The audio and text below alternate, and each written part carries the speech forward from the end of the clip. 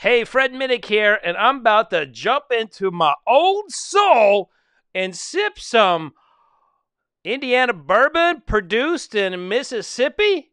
Ooh, we got a label situation. Giddy up!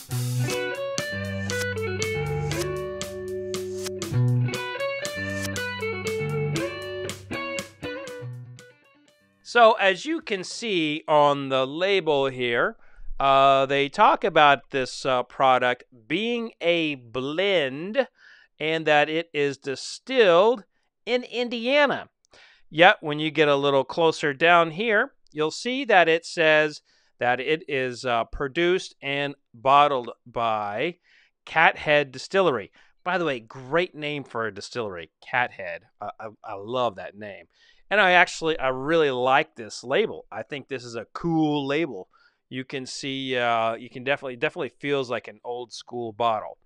But when we look at like you know transparency in labeling, technically, legally, nothing wrong with that one.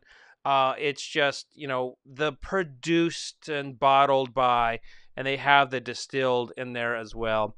It is it to me. It's a little you know, you got to be careful with that if you're a producer. If they don't put the that it's distilled in Indiana in there, they're going to get in trouble.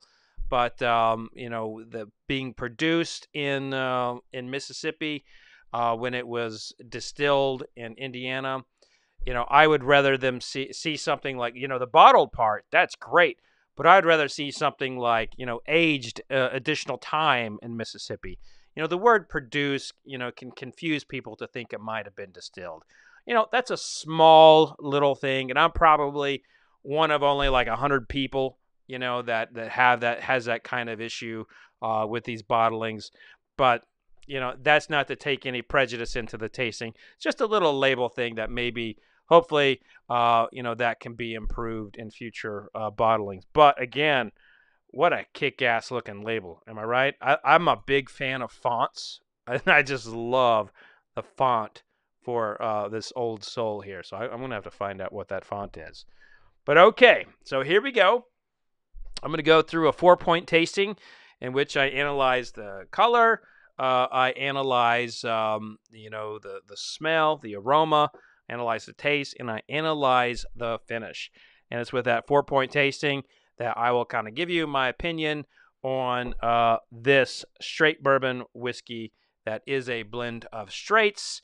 Uh, they have on the label that there is no color added. You can add coloring to a blend of straights. So I appreciate that uh, piece as well on the label. So, okay.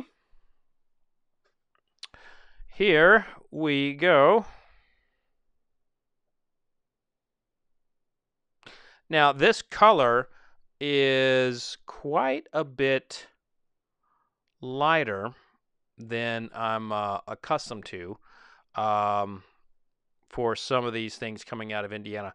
One of the things that I have noticed about uh, Indiana bourbons is they tend to they tend to have just a, a, a slighter, darker hue, and this one seems to be light. Now I will put uh, a little bit more description in of this particular release in the in the description. So look in the description for a link. Okay, so you can't really score on color. You can't really say, "Oh, it's lighter. It's not going to be any good." But it can give you a little bit of an idea of what you are about to taste. And the smell, whew. That smells like um that smells like grits. And by the way, you know, I'm I'm doing this right now live with my YouTube members, and this is my first official tasting back after like a long break. So I'm actually really excited about this. Now, I have tasted, but I haven't been all analytical like I'm about to. So, Old Soul, you're about to be the first thing that I've tasted in uh, in two and a half weeks. I've been on uh, palate rest, if you will. Okay, so it smells like grits, like a little bit of butter on grits, some pepper in there as well. But yeah, really corn grit forward. Here we go. That's good. Um, there's some banana in here. Uh, there's some cornbread. There's some like uh, rye toast, um, almost like a rye muffin, and I get um, after that I get some some oak. Um, you know, it's got.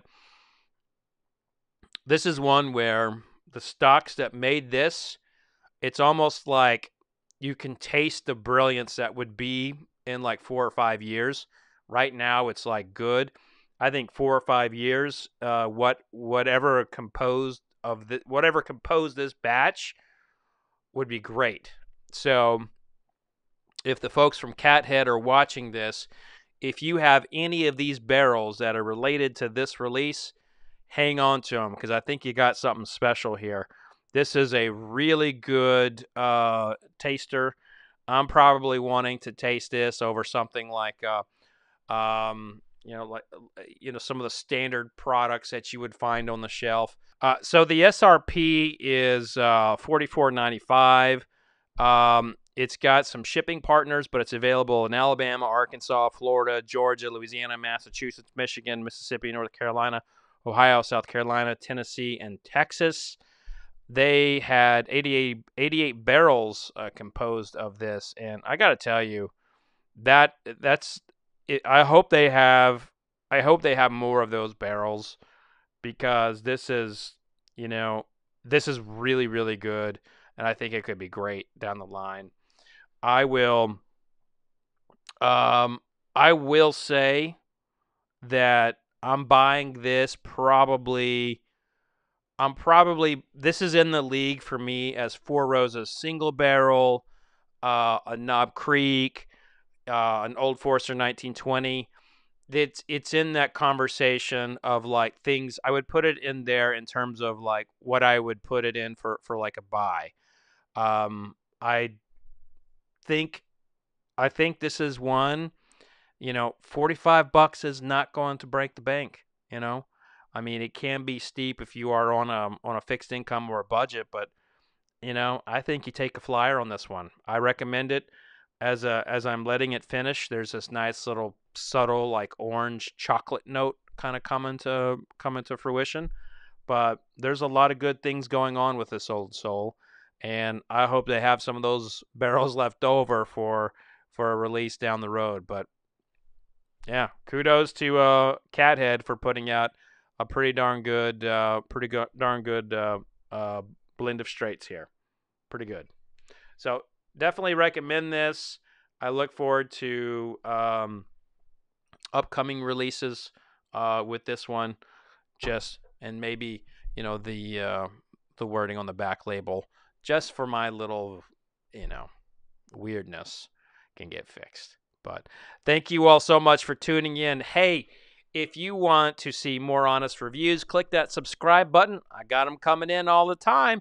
And if you would like to see this live like the YouTube members did, just click join and become a YouTube member. They saw this review long before anybody else. And uh, believe me, they were making fun of me all the way through it. But that's going to do it for this episode. Be safe out there, folks. And remember no licking handrails, no licking trash cans, and vodka sucks unless it's being used for hand sanitizer. Cheers, everybody.